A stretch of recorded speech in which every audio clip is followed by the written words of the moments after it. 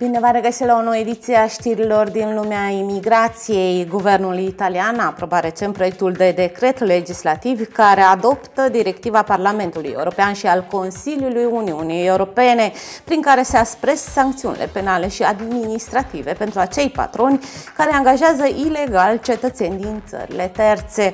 În caz de exploatare mai gravă, se prevede și posibilitatea acordării unui permis de ședere pe motive umanitare imigranților care denunță anunță faptul.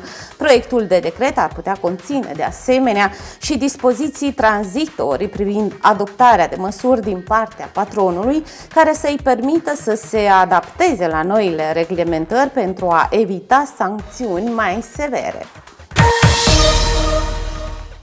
Permisele de ședere pe motive de șomaj vor fi prelugite de la 6 luni la un an.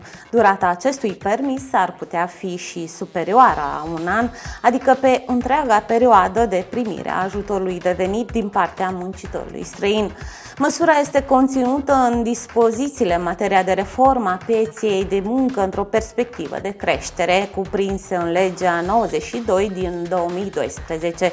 Normele au fost publicate pe 3 iulie anul curent în monitorul oficial și vor intra în vigoare la data de 18 iulie.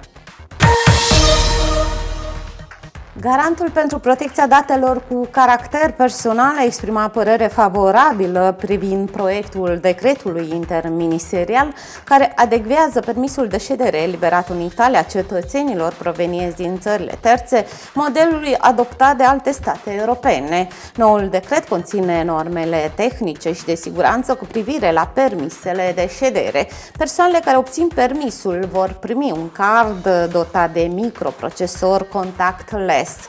Cardul va conține informațiile necesare pentru a verifica autenticitatea documentului, datele de identificare, fotografia și amprentele digitale ale titularului. Mai multe detalii pe site-ul www.informi.it.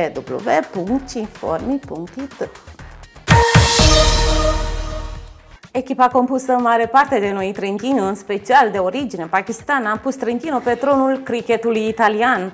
Jucătorii care au demonstrat deja forța lor în stagiunea trecută au fost confirmați învingători și la sfârșitul campionatului de Serie A.